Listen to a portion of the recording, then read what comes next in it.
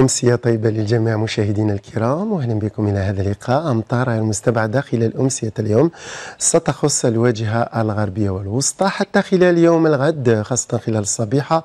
بعض الأمطار المتفارقة ستخص السواحل الوسطى وكذلك الواجهة الساحلية الشرقية لتصبح الأجواء غائمة على المرتفعات الداخلية الشرقية والوسطى.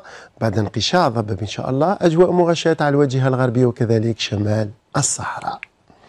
ثلاث درجات خلال ليلة اليوم على السطيف كذلك باتنا المشرية نعمة والبيض 12 درجة على العاصمة نفس المقياس على تيندوف 16 درجة على الصحراء الوسطى كذلك مناطق الجنوب الشرقي على ولاية إليزي 10 درجات على تمنرست وحتى على جانات 19 درجة على أقصى الجنوب.